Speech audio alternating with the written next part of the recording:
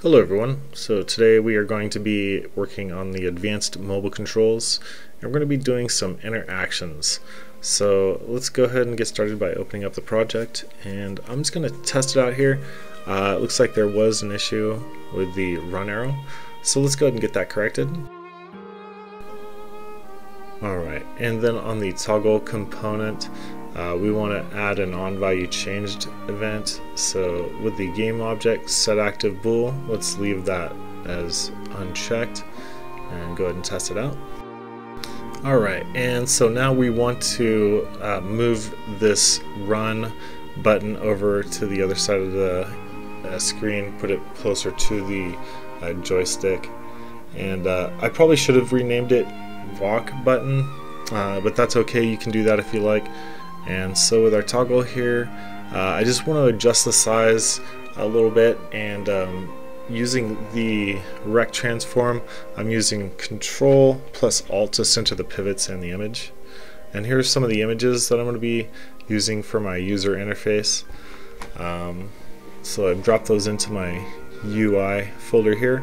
I'm going to change this to Sprite 2D and UI.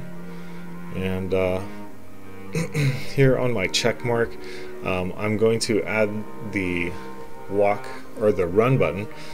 And um, I want to change the background so it's a little darker so you can see that image a little bit better. And we're going to make the check mark uh, icons a little bit bigger. I do want to duplicate it. Uh, so on the secondary one it's just kind of a, a placeholder um, but it's a little grayed out but you can see it better. Uh, it gives the user, you know, an idea of what the button is for. And then with the run button, uh, I'm going to change that icon to the walk icon. All right, and uh, okay, so everything looks good there. And uh, I'll get these pivots moved over. All right, looking good. Okay, so now we are adding a toggle script. So go ahead and create a C sharp script, and it's going to be our toggle handler. And alright, so go ahead and start by um, selecting at the end of Unity Engine, Control C, and then you can just do Control V and it'll paste a new line right below it. I'm going to add the UI, and uh, down below the class we're going to add the string name and a toggle uh, reference and then in the start we're gonna get the component this script is to be attached to. And um, we want to create our own public void uh, a public set change state. And uh, in this state uh, we need to actually call a reference to the Unity standard assets uh, namespace for the cross-platform input. So down in our if statement this will allow us to uh, check the set button down state or the set button up state, uh, depending on what the toggle state is. And so uh, let's go ahead and duplicate our run toggle. And um, this can be our uh, crouch.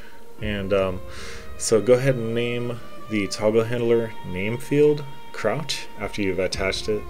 And then on the on value change, we want to just add that uh, toggle to the on value change, change the uh, toggle handler script on uh, set change state, and that's when it'll go through the uh, you know if statements to let the uh, user or the, the player you know uh, do the interaction that the user is asking. And on the third person input script, let's go and do a search for Crouch, and we'll change input to cross-platform input manager. We'll save that, head back to the editor, and test it out.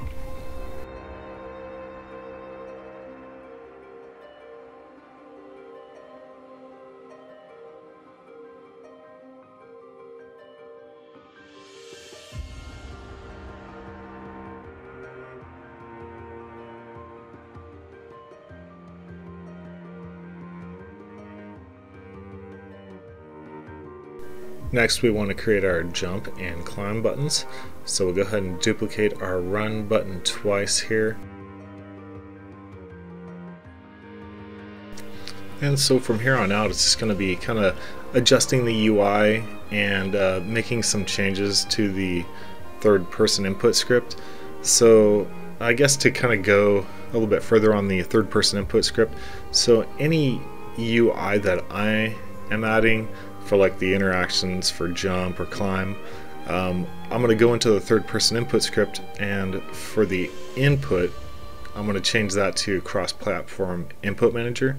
So it'll give the buttons that I'm working with the ability to work in that context. So um, yeah, essentially I'm just going to let the video play and uh, if you need to you can slow the video down or speed it up from the gear icon uh, down below. Um, but yeah, I just want to say thank you so much for watching and I hope you have a fantastic rest of your day. Uh, if you do have any comments or questions, uh, you know what to do. And uh, alright, thanks again. Bye.